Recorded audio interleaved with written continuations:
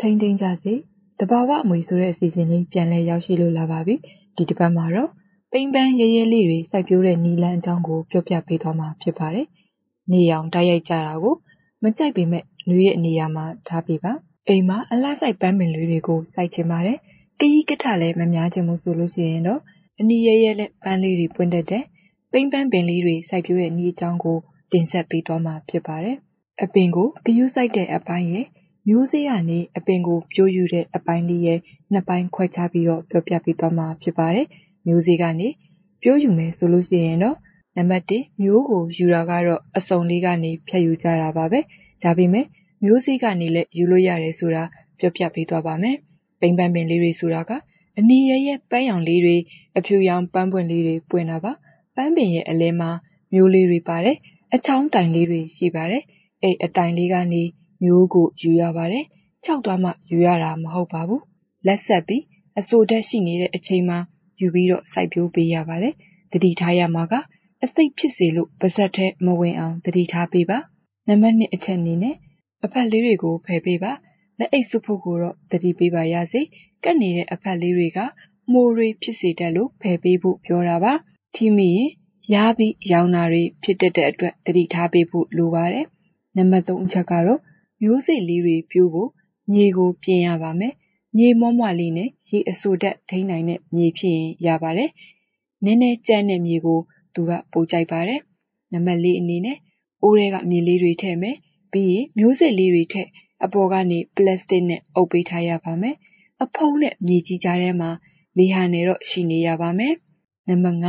ရေလောင်းပေးပါ။ အနှစ်ကြီးမဟုတ်ဘဲနဲ့နည်းနည်းဆူအောင်လောင်းပြီးရင်ပလတ်စတစ်လေးနဲ့ပြန်ဖုံးပေးဖို့မမေ့ပါနဲ့။နံပါတ်6ပူနွေးပြီးနေရောင်ဓာတ်ရိုက်မကျရောက်တဲ့နေရာမှာထားပေးပါ။အပူချိန်ကတော့29ဒီဂရီဆယ်စီရပ်80ဒီဂရီဖာရင်ဟိုက်လောက်အနည်းဆုံးရှိရပါမယ်။အရိပ်တဝက်လောက်ကျနေတဲ့နေရာမျိုးမှာထားပေး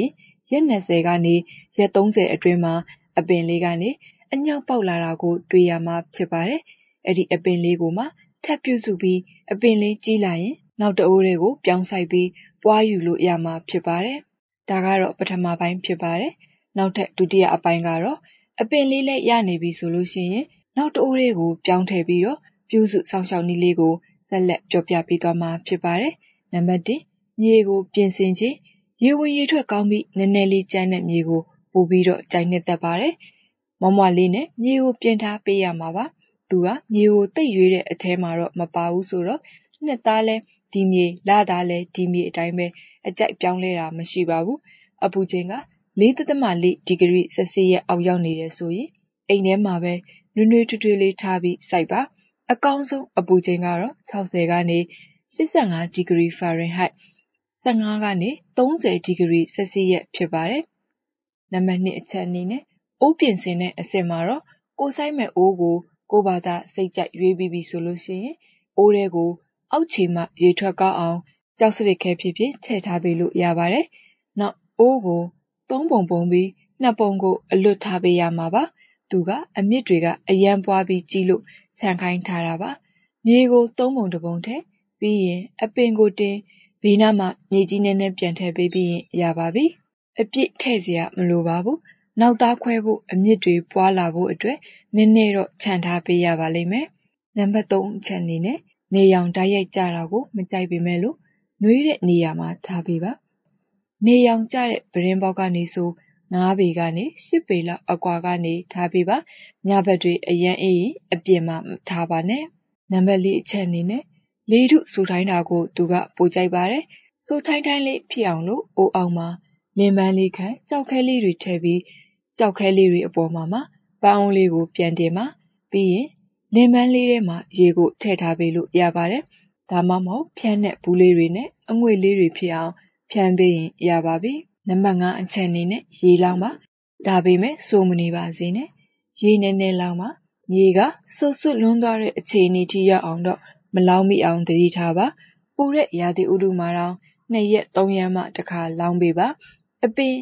အမြင့်ကြီးတွေက ရေအများကြီးကို စုပ်ယူထားပေးနိုင်တာကြောင့်ပါ။ရေလဲလောင်းနေရတဲ့နဲ့ အရွက်လေးတွေက ဝါလာတယ်ဆိုရင် ရေလောင်းတာများနေလို့ ပြတဲ့လက္ခဏာပါ။နံပါတ်6ပုံသွင်းမှာတချို့မျိုးလေးတွေက အပင်မှာ ကပ်ပါပေါက်တတ်တဲ့ အပင်ပုံလေးတွေ ဖြစ်တာကြောင့်အအပင်လေးတွေပြောအောင်ဆိုရင် အိုးထဲမှာဒုတ်ထောင် စိုက်ပျိုးထားတာမျိုးတွေ လုပ်ပေးရမှာပါ ခွန် မြေဩဇာတိတ်တော့မလိုပေမဲ့ပိုကောင်းပိုလာချင်3ချိုး1ချိုး2အချိုးနဲ့ နိုက်ထရိုဂျင်3ပိုတက်ဆီယမ်1နဲ့ phosphate 2အချိုးနဲ့မြေဩဇာကိုအညွန့်အတိုင်းသုံးပေးလို့ရပါတယ်မြေဩဇာကျွေးပြီးရင်တော့ရေလောင်းပေးပါအိုးပြောင်ခြင်းအပင်လေးတွေကပြောထားတဲ့အတိုင်းစိုက်နေလို့အရန်ကိုလှပြီးကြီးလာတယ်ဆိုရင်အိုးခွဲရင်ခွဲမဟုတ်ရင်အိုးအကြီးတဲ့ကိုပြောင်းပေးရတော့မှာဖြစ်ပါတယ်။တစ်နှစ်လောက်စိုက်ပြီးချိန်ဆိုရေကခဏခဏလောင်းရတယ်။ရေချောက်တာကမြန်သွားတယ်ဆိုရင်အပင်လေးကိုအိုးလေးပြောင်းထားပေးရတော့မှာပါ။အိုးပြောင်းရမယ်ဆိုရင်တော့အပေါ်ယံမှာမြေသားဖြစ်ဖြစ်ရေကြီးဖက်လေးတွေဖြစ်ဖြစ်ထပ်ထည့်ပေးပြီး ရေဓာတ်လေးရှိနေအောင်ထားပေးရမှာပါ။အဒီလိုဆိုရင်အမြစ်လေးတွေကထပ်ပြီးကြီးလာမှာပါ။တက်လာတဲ့အမြစ်တွေအောက်မှာပင်စီလေးကိုဓာတ်ထက်ထက်နဲ့ဖြတ်ပြီးတော့အပင်ကယူဆိုင်တဲ့အဆင့်တစ်ကအတိုင်းလေးပြန်ဆိုင်ပေးရင်အဆင်ပြေသွားမှာပါဒီလောက်ဆိုရင်တော့ပိန်ပန်းနီနီရဲရဲလှလှလေးတွေကိုဘလို့စိုက်ပျိုးရမလဲဆိုတာကိုသောတာရှင်တို့လည်းသိရှိနိုင်လောက်ပြီလို့ထင်ပါတယ်ဒီတစ်ပတ်ထိန်ထိန်ကြစေတဘာဝအမွေအစီအစဉ်လေးကိုတော့ဒီမှာနဲ့ရန်နာလိုက်ပါတယ်ကျမကတော့ပင်ကီတီရီကျော်ပါ ဒီဆောင်ပါကိုတော့ အစိမ်းအောင်လမ်းကနေ ကူးယူတင်ဆက်ပေးထားတာပဲ ဖြစ်ပါတယ်